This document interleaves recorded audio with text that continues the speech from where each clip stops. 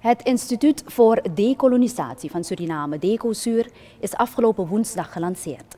In de Royal Ballroom van Hotel Torarica presenteerde het instituut haar doelen voor decolonisatie van de moderne geschiedschrijving over Suriname van 1940 tot heden en is door initiatiefnemer Sandeo Hira het ontstaan van DECOSUR toegelicht. Hira merkt op dat de geschiedenis vaak meerdere versies kent van wat, van wat er gebeurd is. Onze geschiedenis moet verteld worden en vastgelegd worden door en voor Surinamers. Als wij het niet voor onszelf schrijven, dan gaat niemand het doen, gaf Hera aan. Decosuur zal zich de komende drie jaren bezighouden met wetenschappelijk onderzoek. De resultaten van dit onderzoek zullen worden vertaald in input voor overheidsbeleid en beleid voor maatschappelijke organisaties.